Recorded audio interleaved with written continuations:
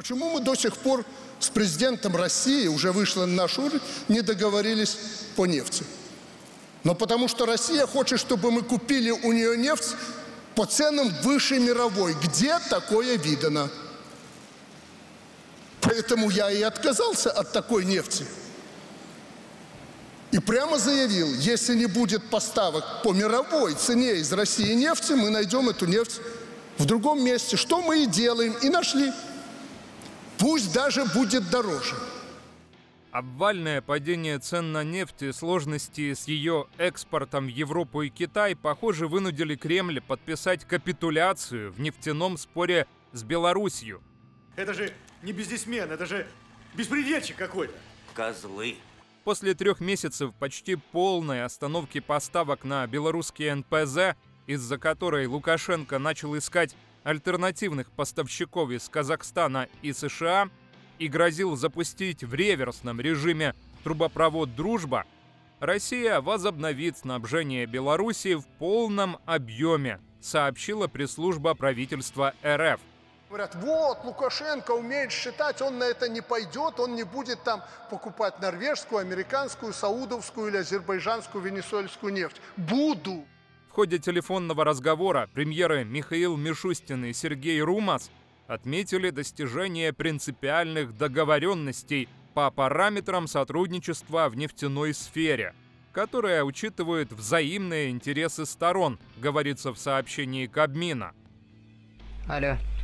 Да-да. Ну как там с деньгами? А? Как с деньгами-то там? Что с деньгами? Ты кто такой? Михаил Павлович. Какой Михаил Павлович? Новые предложения в Минск поступили на днях от России, рассказал сам Лукашенко на совещании с правительством. Я так понимаю, россияне полностью пошли на наши предложения по поставкам нефти, обратился он к главе президентской администрации Игорю Сергеенко. Давайте конструктивно. Давай. Только прессовать меня не надо, ладно? Тот, как сообщает госагентство Белта, подтвердил слова Лукашенко и добавил, что предложения России были рассмотрены на заседании рабочей группы. Может, о делах поговорим? Давай поговорим. Давай, поговорим. Ну, говори. А дела наши очень плохие. С марта нефть поступает на белорусские НПЗ по рыночной цене без премии. Помимо компаний группы «Сафмар», миллиардера Михаила Гуцериева, начались поставки еще пяти российским предприятиям. По итогам марта Минск планирует закупить для двух своих НПЗ около миллиона тонн нефти. Ранее Беларусь приобретала российскую нефть для Мазырского и Новополоцкого НПЗ по льготной цене за счет отсутствия экспортной пошлины, поскольку обе страны входят в Евразийский экономический союз. Однако после проведения в России маневра налогов размер этой скидки начал снижаться. Война идет, понимаете, а вы болтовней занимаетесь. По оценке белорусской стороны, в 2019 году страна потеряла около 330 миллионов долларов, а за период 19-24 годов издержки могли превысить 10 миллиардов долларов. Может и похуже жить будем. Не будем, не волнуйтесь. Ушли те времена. Минск настаивал на пересмотре формулы цены нефти для белорусских заводов, чтобы компенсировать тающую льготу. Давайте просто реально посмотрим на вещи. Давай, посмотрим. Москва, в свою очередь, увязывала нефтяные льготы с углублением интеграции. Так что ваш старпер думает, что вот так просто можно прийти, наехать и подмять доктора под себя? В июне 2019 глава Минфина Антон Силуанов объяснял, Наша позиция в том, что нам необходимо принимать комплексное решение, которое бы касалось видения нашей дальнейшей интеграции в части союзного договора. И тогда мы будем понимать и орбиту наших финансовых отношений.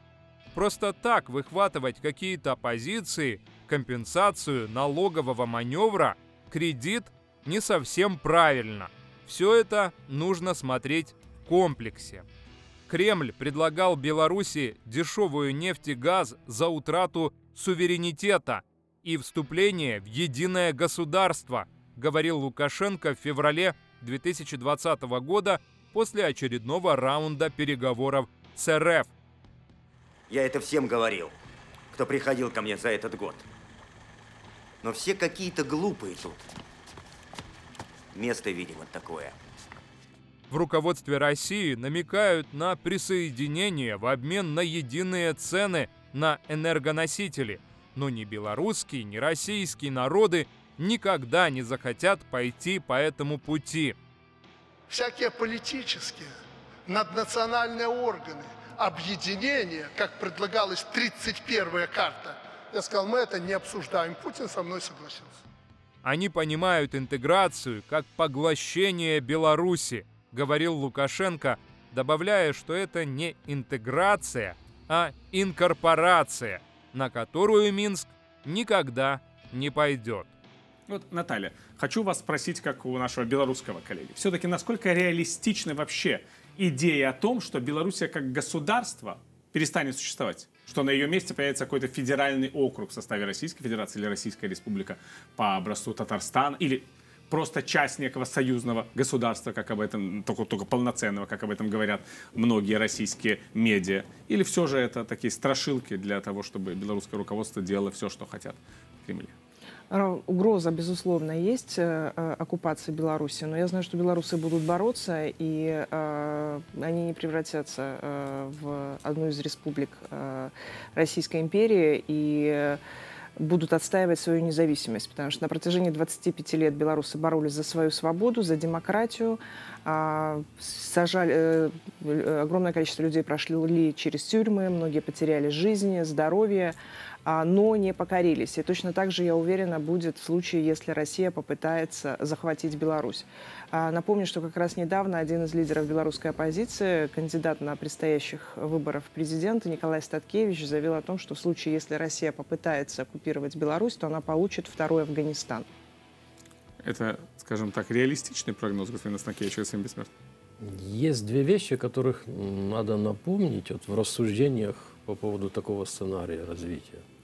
Во-первых, надо всегда помнить историю и помнить о том, что а, в Беларуси всегда шли очень ожесточенные, кровопролитные сражения, которые касались или вопроса независимости, или этнического вопроса, или территориального. Причем э, это были сражения жесточайшего характера. Нужно просто даже последние исторические фрагменты вспомнить, чтобы не как бы ослабевать внимание вот на этот участок. Это даже не Украина, это надо хорошо помнить. Второе. Путину не нужен белорус, потому что от Беларуси нужно беспокоиться. Его нужно э, налогами обеспечивать, etc., etc., etc. Ну, разве это не происходит за последние десятилетия? Путину нужен ресурс Беларуси. А 9 миллионов белорусов, в конце концов, элементарно нужно кормить, одевать и так далее. Да, они будут себе раду давать, но все равно это забота. То, что он использует сегодня Лукашенко как элементарный инструмент раздевания белоруса. Путину нужно что? Военные базы, форпост для э, атаки Европы, создания угрозы, для создания угрозы Украине и так далее. Вот что ведет э, Путин в этой ситуации. В конце концов, просто зависимость Беларуси, территориальная зависимость Беларуси от политики России для того, чтобы давлеть над миром, над Европой и так далее. Э, Причем это подтверждается даже документами НАТО, Европейского Союза. Вспомните меморандум Варшавский НАТО, о котором говорится о Беларуси как о слабой э, территории с точки зрения безопасности для Европы. Это действительно так.